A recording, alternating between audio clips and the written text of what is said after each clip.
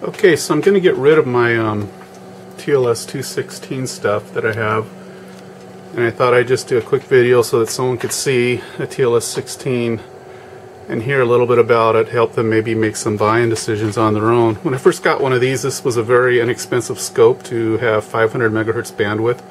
It's unique that it has 16 analog channels. It's sampling at 2 gigasamples per second on all channels simultaneously up to. Um, so, I mean, it was pretty unique scope when it came out, and I don't think there's been anything really like it since. To fit all of these channels in, they had to do away with all the attenuators, so the front end of the end of this expects a 20 to 1 attenuation. So that that's fixed, and you can't adjust that in the scope. The other thing to keep in mind of when you're looking at these is, um, see these inputs, see how they don't look the same necessarily? That's because some of the inputs on, not all of them, but some of them, the plastic is really brittle and chalk-like in the center. And if I take, took my fingernail and chipped at one of those, it would just fall apart just like chalk. Others have more of a plastic plastic that doesn't really do that. And I don't know if that's sunlight related or not, but some seem to do it, some don't. Um, but that's something to keep in mind. The other thing to keep in mind with these is the um, is the only active part of these um, of these probes, these active probes, there's nothing back there that's just a plus 5 and a minus 5 volts back there. But up here, the probe tip is the only active part. And uh, I don't have it out right now, but um, I do right here. And you can see you got your, your positive and your negative, and then a coaxial that would go to the ceramic chip. Now, there's a ceramic chip, a little wafer in the center of this thing and that is extremely brittle and it'll crack just like a little piece of glass off a you know petri dish or something like that or one of those slides you used to use in college. So um and you can see how thin this thing is. You can't light ain't very good but it's a pretty thin little thing pod tip.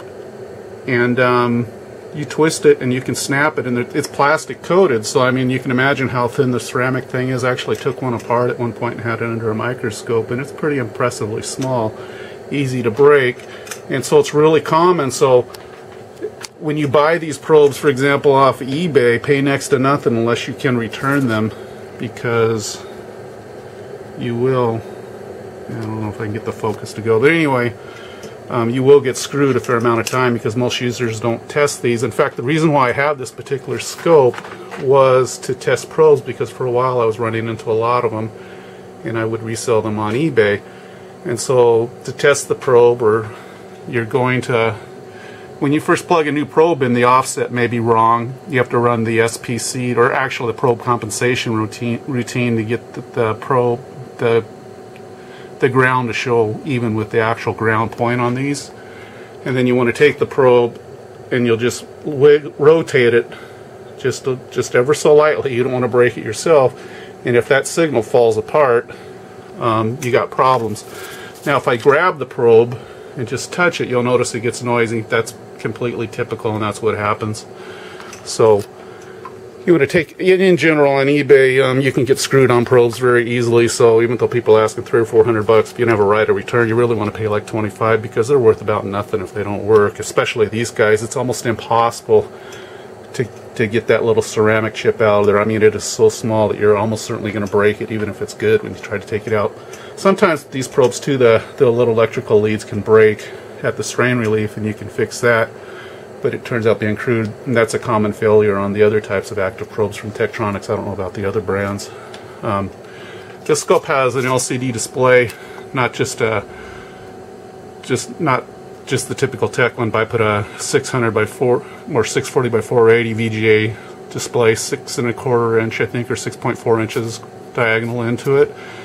Wasn't very hard to do. I just simply used um, in the flex keypad metal plate. I Use some double-sided um, trim tape for cars, automotive, stuck that on the inside of the trim plate, put a piece of glass there, and on the back side put a piece of glass around the, the frame of an LCD display and stuck that to the glass. It, it's a little tricky to get it just right and to not get dust and fingerprints in there, but it works just fine.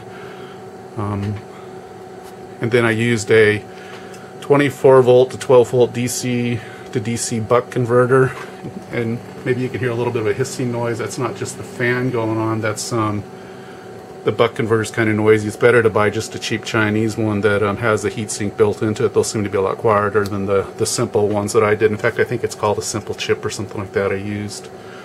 Um, but it works fine. Um, when you want to look at a signal and you want to for example um, make it bigger on screen it'll show clipping that's because there's no inputs in the front front end of this thing, you know, no attenuators, so it's fixed at, at 20. And so uh, it takes a pretty small signal to actually clip the top, and you can see it's flatter, and if it's a little bit slider or a little bit larger signal, you'll see that it's it'll be turned to completely flat at the top, telling you that it's completely clipped. How you get around that is you lower the amplitude, you go to zoom, turn zoom on, in this case, zoom is already, vertical zoom is already at 2x, and it had been set at 0.25 horizontal before, so I just need to change that. It seems to persist. And so now I'm getting a, a fuller size signal without the clipping. And um, that's actually how it's recommended to do in the um, sales literature. I have a an old Tektronix sales literature manual here. This is actually an internal document.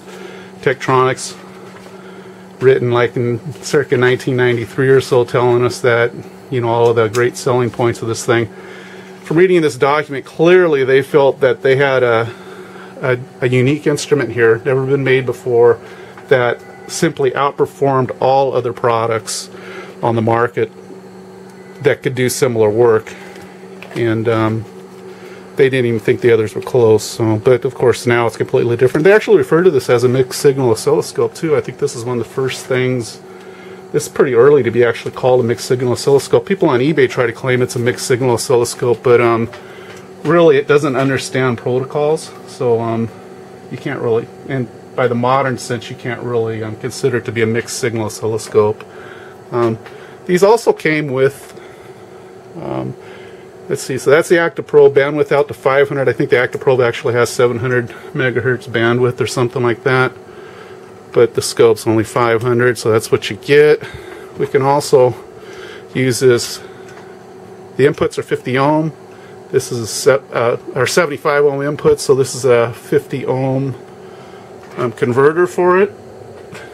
And so if I take my fast rise signal, don't want to do that. Hold on. Yeah, that'll probably work. Just about bent the hell out of the thing. Alright. Turn that on. And let's see. Let's see if we can get it to do anything. Or maybe I don't, oh, I don't, don't have it plugged in enough. Hold on. Yeah, my camera wants to fall over.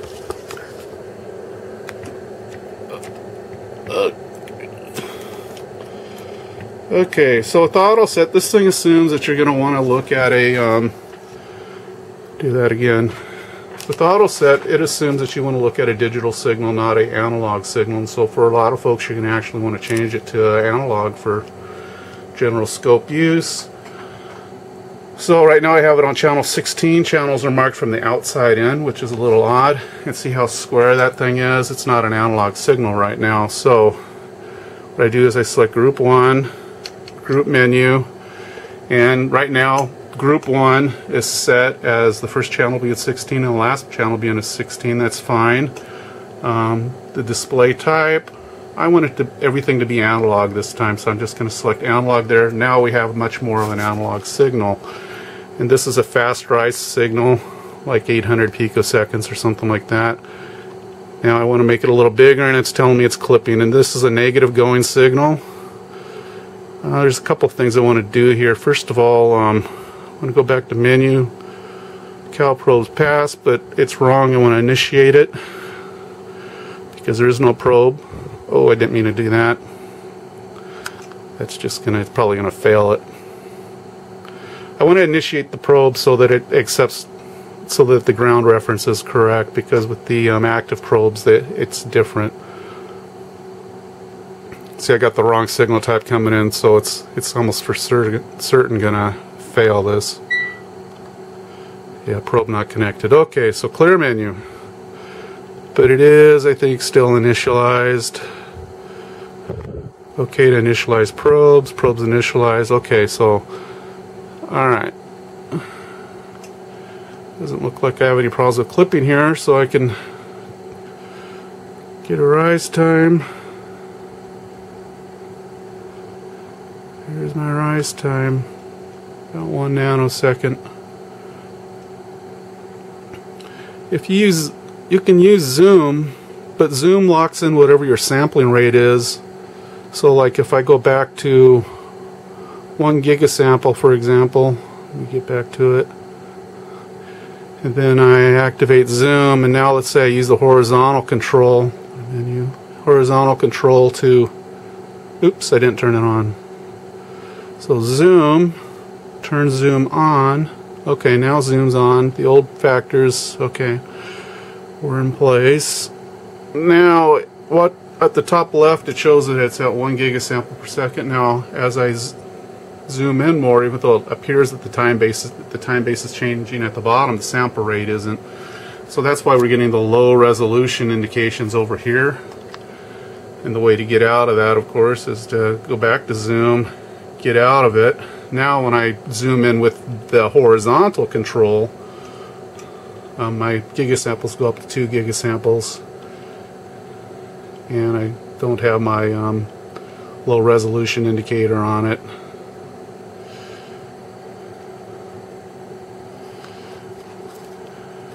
Um,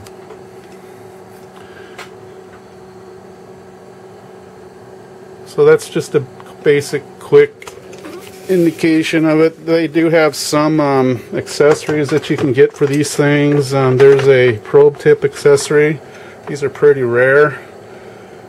The probe just simply slides in there and then um, your ground lead goes in the back part of it at the bottom hole there, if you can see it with the light. And then the regular stuff of tapping into chips and so forth. These, um, the probe tips on these were designed to be able to go into standard, I think it was a 0.10 inch or 0.01 inch um, spacing header.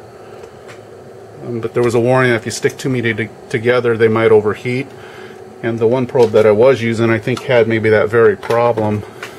I've actually used some liquid tape on this, but um, it was pretty melted and so forth, but surprisingly works fine. Um, people try to sell these probes for 100 bucks, but you know, I don't know, probably 40 bucks or 30 bucks. I like these little coaxial converter things to make it 50 ohms, since so much stuff I do is 50 ohms. It's doing a little clipping again every so often, and again, you can get get around clipping with using the zoom control. Um, so here's an example of an LCD display. This this one is a little bit washed out simply because I need to adjust the display itself and I haven't. And I think I hid the, the wiring for it back here behind here. So I'll have to pull the front bezel off and um, do that if I want to. But it's, it's perfectly good display as it is. And it wasn't that hard to do. A fair amount of research up front. Alright, so um, these things didn't have much in the way of options. Um, shift utility, um, let's see, system config, IO.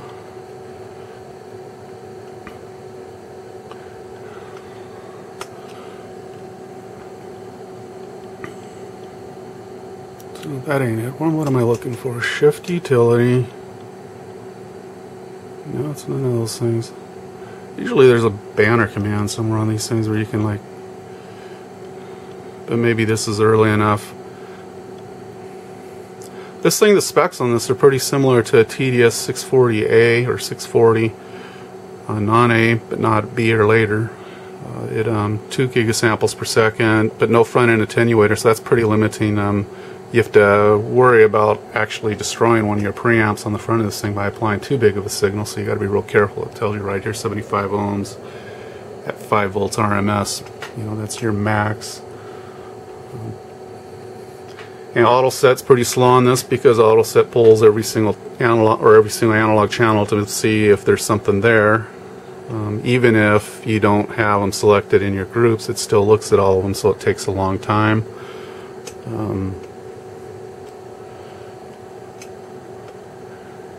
I wish I could figure out how to get to the um, to the banner.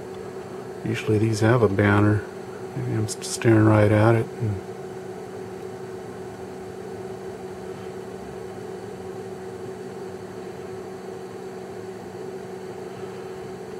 No, I don't think it's here. But all it's going to say is like 1F, and um, it does. These don't have FFT. You can't have um, Spectrum. Um, can't put a video trigger in it. These don't have runt triggering too. They didn't, according to the the documents here, they didn't have enough um, space on the trigger ASIC to put a runt trigger feature into it. It just wouldn't fit. There was so many, so many inputs that they needed to trigger off of. They just couldn't fit it in the the die space. Um, so it's a decent, okay, 500 megahertz scope for looking at small signals. It can decode a parallel bus, but pain in the rear to hook up. Um, I mean, when you got 16 probes on this thing, it, it, has a lot of probes. Probes are expensive and they're iffy. Um, I have several that are that do have cracked ceramic, uh, but it will decode a 16-bit bus. It doesn't recognize I I2C or any of those other things. There might be a way to suck it off and, and do it in a program, you know, with using the GPIB to get the data off, but probably not worth your while. Um, does do 500 megahertz though on multiple channels. I mean, conceivably, there 500 megahertz bandwidth. Conceivably, there's someone out there that could use that. Um, but it might be a really cheap, small signal oscilloscope for someone who needs that, and they want probes with little teeny inputs. I think these probes would have potential too for someone who just wants to power um, the. One of these I have written on. I think it's negative five and plus five going to them. Not you know, it's nothing real exotic. You know, you got to just take a multimeter to the little contacts there, and you can find out. But it, these are very easy probes to um, to probably use in something else. And um, you know, so if you needed a low cost probe, people of course are still kind of trying to gouge on eBay, trying to get a hundred bucks for them, but they're so freaking unreliable unless you have them and can test them first. That I, you know, if you don't have a right of return, I wouldn't even pay ten bucks each. They're just not worth it. But these converters are fine, and if you're using a 50 ohm signal generator, they're great. So, anyhow, TLS 216, old school, very unique. Probably still not nothing that has the same capabilities as it, but apparently people didn't need this set of capabilities because they stopped making them. About 1993, that's really impressive. 500 megahertz of bandwidth, 16 channels, 2 gigasamples of sampling per channel, and all channels simultaneously. 500 megahertz real-time bandwidth. That's actually quite impressive. Bye now.